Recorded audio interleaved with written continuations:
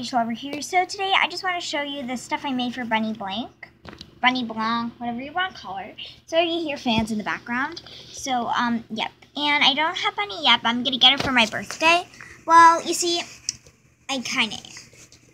So, um, on my birthday, I'm going to go to the mall. I'm going to go shopping and stuff. So, um, I see bunny dolls everywhere. Like the ones I rarely ever see are like Darling or Rosabella, but then the ones I always see are like Alistair and Bunny. So I always see those. So I'm pretty sure I'm gonna be able to get a bunny to buy on my birthday. So yeah.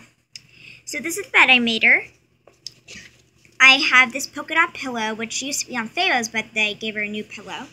And I put polka dot duct tape to act like a blanket, kind of. And then there's originally it was just a white tissue over this box and then that was it. But then I spazzed it up and now it looks way better. So, yep.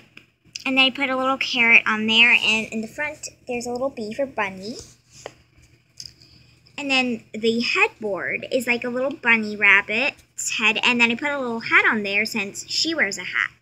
I also have a nightstand for her. So this is a like Play-Doh can thing. But I covered in duct tape the same duct tape to match her bed, and then I made this carrot out Play-Doh, so yeah.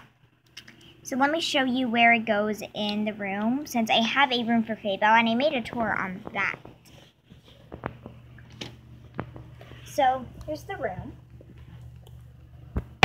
So, I'm going to put the nightstand here, and then work like that. So, I decided to turn it this way. So, yeah once I get Bunny, like I'll have all her accessories set up.